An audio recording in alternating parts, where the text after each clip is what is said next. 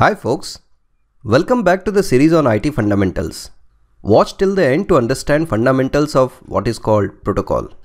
Now we know how our two friends can actually exchange multimedia data using zeros and ones. However, there are more questions still unanswered. For example, when to start and end the communication? Because it may happen that first person is not sending any data, that's why the torch is off but the other person keeps on receiving all zeros, thinking that it is a part of message. How does receiver know about how much data was sent? Now the entire data might be sent chunk by chunk.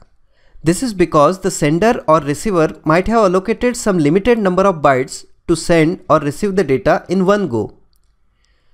Also the devices may be connected over shared network, so the sender and receiver may not have dedicated permanent connection.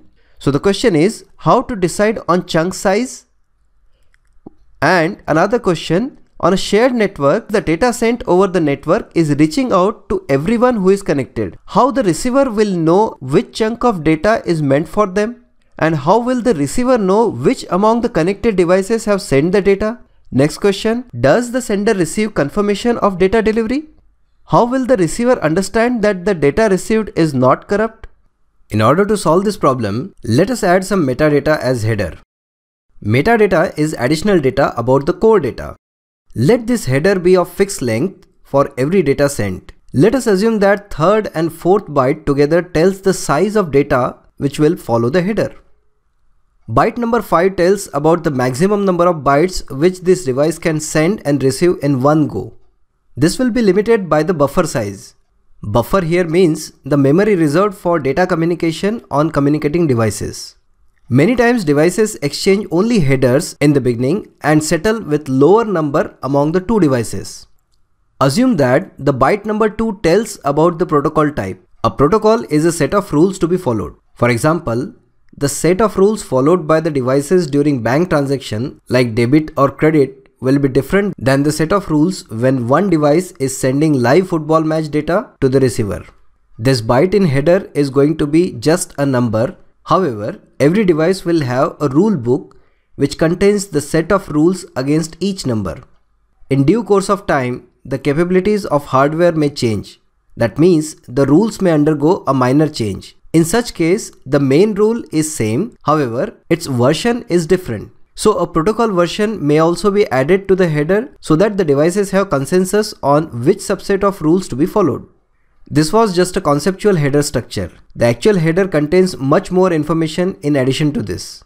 For example, there could be many devices connected on the same network. In such case, every device will be given a unique ID known as IP address. The source and destination IP address is also a part of header. This helps in understanding who is sender and who is receiver. Field like checksum help in understanding whether the data has reached in its original form or has got corrupted. Time to live is a timestamp that tells the network about lifetime of the packet moving on the network. If the data does not reach on destination within this time limit, then it is destroyed by the network. Now assume that you have started a courier company with three more partners. A customer wants to courier 10,000 articles by road from Mumbai to Delhi.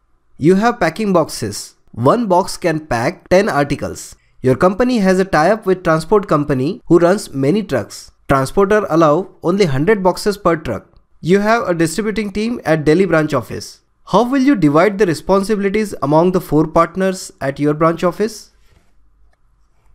There are four primary things to be managed. Manage customer interactions, manage other branch communication and supervise end-to-end -end delivery, floor manager, which includes packing of the articles in appropriate boxes, transporter management, which includes tracking and ensuring that the material safely reaches the other branch office. Wait a minute, why are we discussing all this? It is because it is very similar to how data transfer is managed on the network. Let's see how. The first layer accepts the input data from user, then takes the delivery address, then converts it to IP address. Let's discuss this conversion in more detail. Every machine on internet has IP address. However, it is difficult for human brain to remember the websites by their IP addresses. Hence, they can also be accessed with user-friendly names like www.google.com. Such a name is called as domain name. In order to facilitate the conversion, there are domain name servers on internet who help in finding the related IP addresses for the given domain name. Note that more than one domain name may be linked to the IP address. However, there cannot be two IP addresses for the same domain name. On receipt of the IP address, the client machine makes a fresh request to the google.com server. When we request a web page from device like mobile, then it goes to the internet service provider, which in turn resolves the address and sends the request to the destination machine. The first layer also does the compression of data for efficiency if required, it does some more miscellaneous work like encryption of data for secure communication, etc. Technical name for this layer is application layer. Its counterpart on the other node will deliver the data to the receiver. The end receiver could be an application or a server. The second layer manages communication with the receiver node for information like chunk size, timelines, etc. Reliability of the entire communication is responsibility of this layer. It is technically called Transport layer. Next layer takes care of packaging of transfer data. The data is divided into smaller data packets known as IP datagram which contain source and destination IP addresses. This layer is called internet layer. Next layer ensures node-to-node -node delivery at hardware level. It takes care of the flow and related errors. This is called network access layer. This entire model is known as TCP IP reference model. These are the examples of protocols from various network layers. This table shows the protocol stack, meaning a set of protocols used together to carry out email sending and video viewing over internet. The upper two are over-the-hood protocols. For example, software applications like web browser directly deal with implementation of HTTP request and response.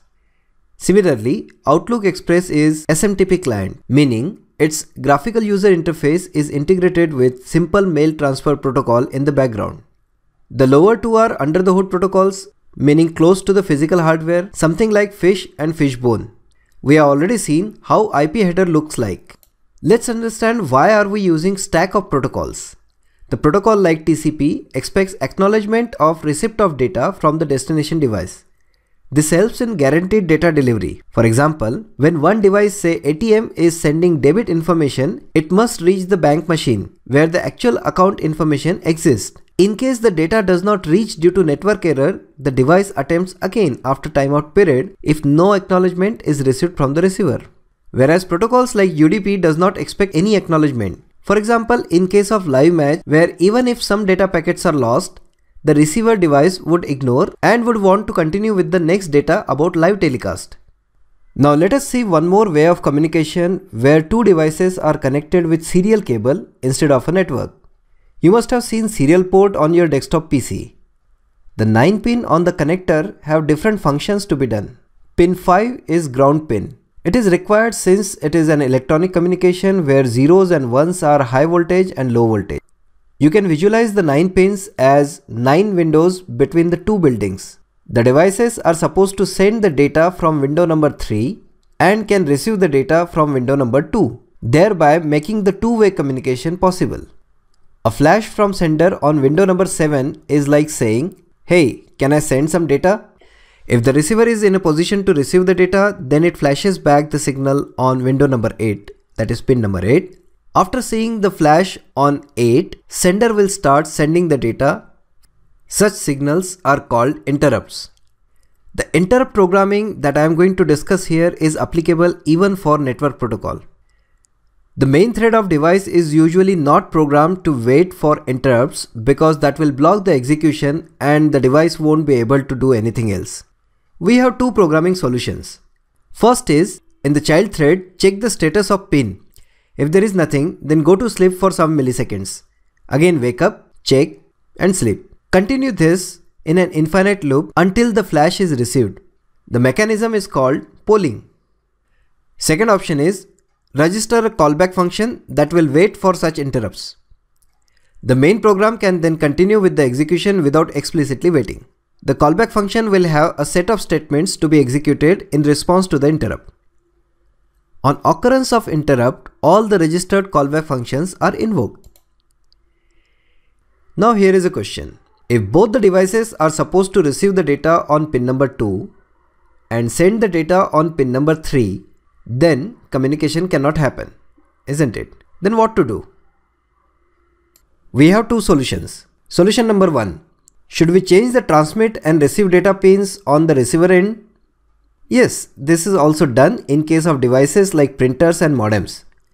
Technically, such devices are called DCE, meaning Data Communication Equipment, and the sender machine like desktop PC is called DTE, meaning Data Terminal Equipment. But the solution will not hold good when the two DTE like two PCs want to communicate.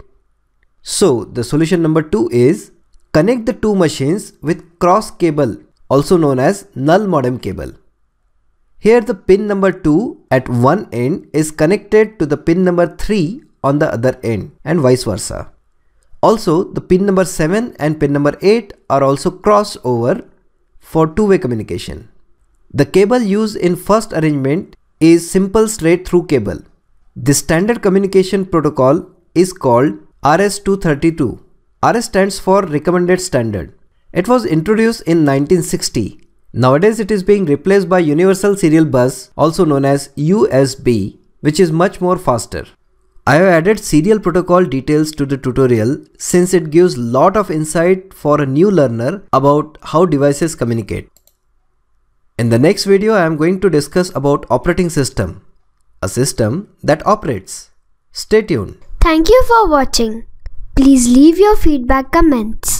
You may subscribe the channel for future updates.